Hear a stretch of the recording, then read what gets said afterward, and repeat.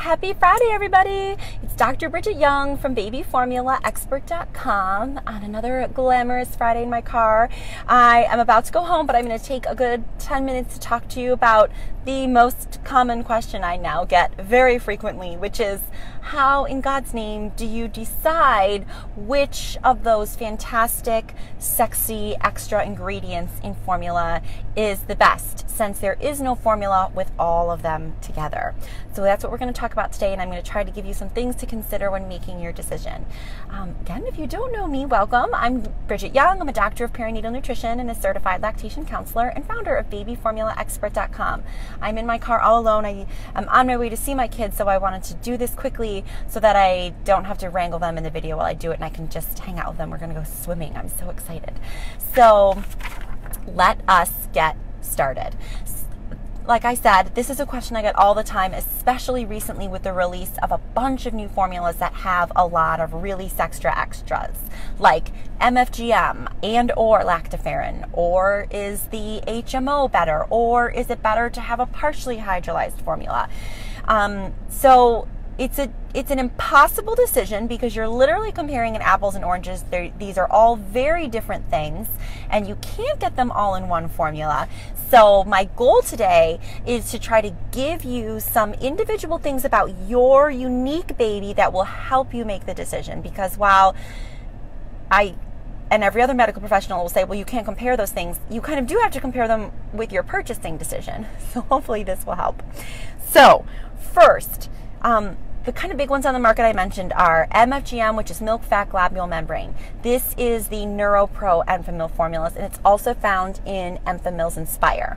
Then you have lactoferrin, which currently Enfamil's Enspire is the only formula that has it, but I think we'll see that changing soon. Then you have the HMOs, which stand for human milk oligosaccharide, and on your list of ingredients, you'll see that as 2FL, which is 2-fucosyllactose. This is the sexy ingredient in Similac Pro formulas, and it's the HMO that Gerber just added to their Gerber Gentle and to Gerber Soothe. So if you're just starting off with formula, you're faced with having to choose between these if you can afford even buying one of these formulas in the first place.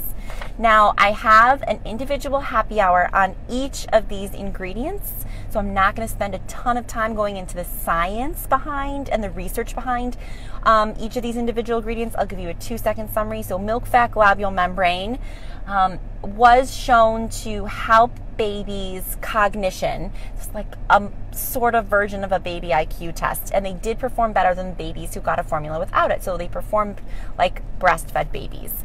Um, and I think even more importantly, milk fat globule membrane provides immune protection to the baby who receives it. So they get sick a little less often, particularly they get less ear infections. That's MFGM. Lactoferrin also provides a lot of immune protection to babies particularly in the gastrointestinal tract itself. So it is a fantastic thing to have in formula if you can.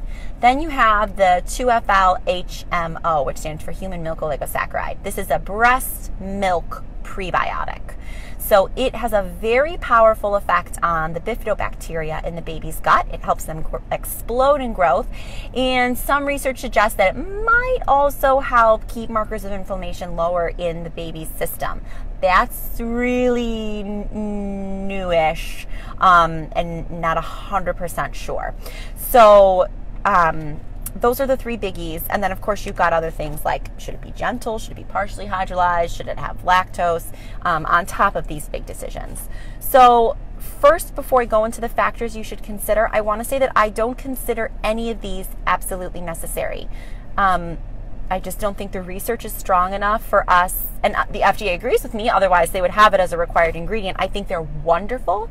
I think they're really helpful for certain babies, but it's not something that I would say, like, I really think every formula fed baby needs lactoferrin. I just, at this point in what we know about how to feed babies formula, I just don't think we're there yet. So I really want that to ease some of your discomfort. So here are the things I think that you should think about and consider with your individual baby before, you know, when you're faced with a decision of like, uh, Gerber or NeuroPro, I don't know, or whatever you're considering. One, I truly believe the macronutrients should be more important in your decision. So figure out does your baby need a partially hydrolyzed formula? Do they need a fully hydrolyzed formula?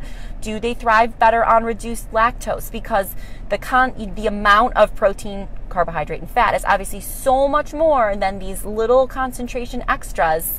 I always say it's awesome if your baby can have lactoferrin and milk fat globule membrane, but if that means that they are having stomach upset every day, which is causing inflammation, which is causing them not to absorb their nutrients, then no, it's way worse. so the number one priority is, of course, that your baby is comfortable and they're able to fully digest all the nutrients in their formula. That's so much more important than whether or not they have this one sexy breast milk ingredient. So nailing down the macronutrients that are best for your individual baby is the number one priority. Then if you happen to have one of these sexy ingredients available in that combination, consider it. But you may find when you get to the perfect blend, it's not even an option for you anymore. And then your decision is made. So that's the first thing. The second thing is how old is your baby?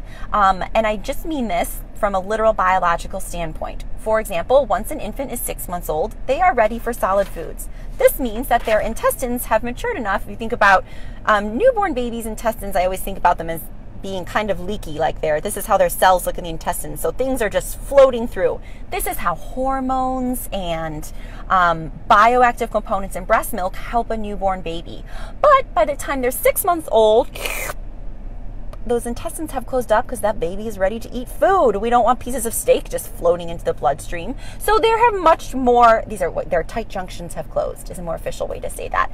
So some of these really sexy ingredients may still have a, um, an effect in the local intestinal tract, but they're not going to be absorbed into the bloodstream. So they're, they are a tiny bit less effective, for lack of a better word. And all of the research on these sexy ingredients is really in the first three to six months of life. So if you're just starting supplementing your eight month old baby, it's really not as important. They still may provide some benefit, but the benefit is probably going to be a little less than if they were a newborn baby. So that's just something to keep in mind.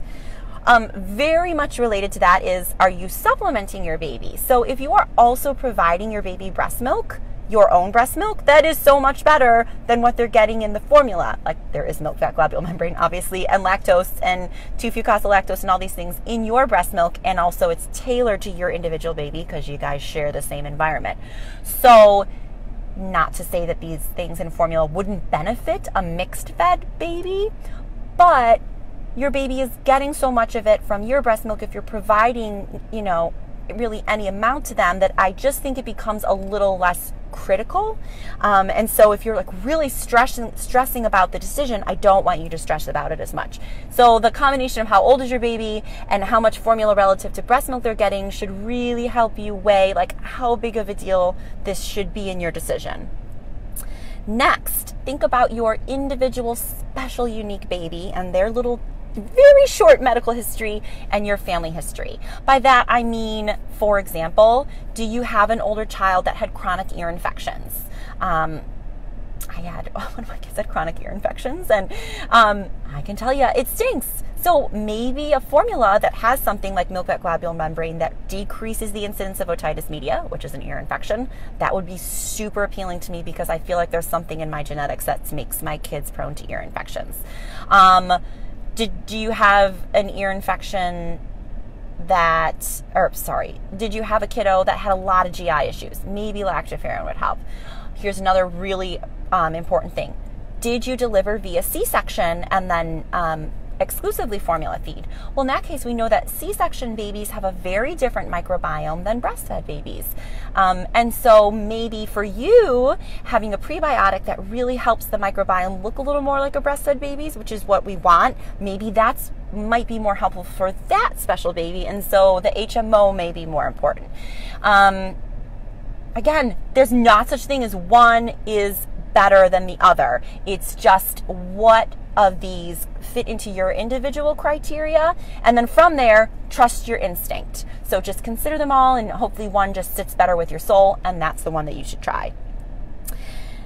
Next, these things are not breast milk. And by that I mean, while lactoferrin is in breast milk, a formula with lactoferrin is not breast milk. And that goes the same for all of them. And what I mean by that is, while there's a lot of research that supports all of these things being very safe and helpful for babies, um, None of that matters. All that matters is your unique baby. And if they have a bad reaction to it, that's not a good thing. I have definitely heard from several parents who have tried um, Enfamil's NeuroPro with the MFGM and are convinced that it causes their baby to spit up then that is not a great formula for you.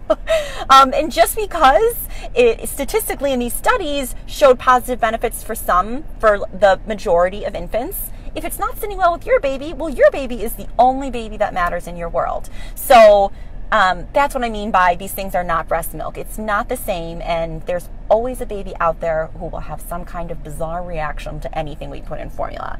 And lastly, the other thing that you need to consider I know nobody wants to talk about this, but is cost. If you cannot afford some of these formulas are very expensive. If you can't afford them, then you shouldn't consider them and you shouldn't feel bad about that. I feel really strongly about this. We know that finances are like marriage and families often number one sources of arguments. And if you are arguing with your partner, or if this is causing you a lot of anxiety and sacrifice to buy this really expensive formula, well, that anxiety is sensed by your baby. And, you know, in addition to feeding them, it's also your job to provide them with a loving, nurturing environment and a lot of love and stimulation. And if this kind of stress from your finances is keeping you from doing that, well, that's completely defeating the purpose. And that kind of love and nurturing of your baby is just as important as providing them calories. So if you can't afford a formula that has a lot of these extra things, then please don't worry about it. And please don't feel bad about it. That's just the way it is. And I tr- truly believe that that's then making the perfect scenario for your individual family. So think about all of these criteria Again, I can't give you one is better than the other. I would have a different recommendation for every single baby. So think about all these individual factors and from there, trust your instinct with the first one to try. And remember, it's not permanent. If you feel really good about one and you try it and it just does not sit well with your little one, no biggie. You can change. it's not the end of the world. Um, and there's going to be more of this stuff coming out. There's a lot of research going on with other components that aren't on the formula market yet. And you bet your bottom dollar they will be soon. And so this conversation is going to be ever changing. And so these criteria, I'm always going to recommend thinking about these for your individual baby first. So I'll do a really quick recap of the things to really think about for your unique baby when making the decision. And then remember from there, trust your instinct about which one kind of speaks to you more. So, first thing to consider is not the sexy marketing ingredients, it's the macronutrients. You really need to figure out first the best macronutrient blend, um, the protein, the carbohydrate, and the fat that keeps your baby really comfortable so that you're sure they're absorbing all of their nutrients. That's way more important than some of these sexy things. And then once you've got that blend, you can explore which of these ingredients may be available in that blend. Two, consider how old your baby is, remembering that older babies' intestines have sealed up. And so these ingredients only really are going to act inside their intestines. They're not going to really be absorbed into their bloodstream um, like they would be with a newborn baby. Three, are you supplementing or how much breast milk are you giving your baby? Because remember, of course, the more breast milk you're giving, the less these ingredients are really relevant because they're getting them more in individually tailored form from your breast milk. Four, what is your individual family history and your little baby's yeah, got tiny medical history? Were they born via C-section? Had they ever had a probiotic before? Do you have other children or do you or your baby's other biological parent have um, a really particular family history that one of these things might help, like ear infection, um, like just really sick during infancy, GI issues, that kind of a thing, because um, one of these special ingredients may speak to you more than another if that's the case. Lastly, remember that these ingredients don't make this breast milk. Um, so while you may think that this is going to be awesome, if you give it to your baby and they don't tolerate it well, ain't no thing. Just move on to something else. It's totally fine. And lastly, don't forget that you can't just ignore the cost. We all wish, we all want to give our babies the best, and more expensive is not necessarily best. And if a formula is out of your fi- fi- family's financial reach, then it is. And that's no problem. And you don't want to take on financial stress that your baby will then feel. So, those are my tips. I really hope that's helpful. I know everybody wants me to just say, I really like this one, I don't like this one, but I just can't that what makes babies so fabulous is that they're tiny people. They're all different. And so they all have different biologies that are on top of different genetic and family histories, etc. So those are the things that should go into you and your pediatrician's decision about which formula is best. And of course, the decision if something goes wrong about which formula to try next. I really hope that is helpful and just gets your wheels turning a bit.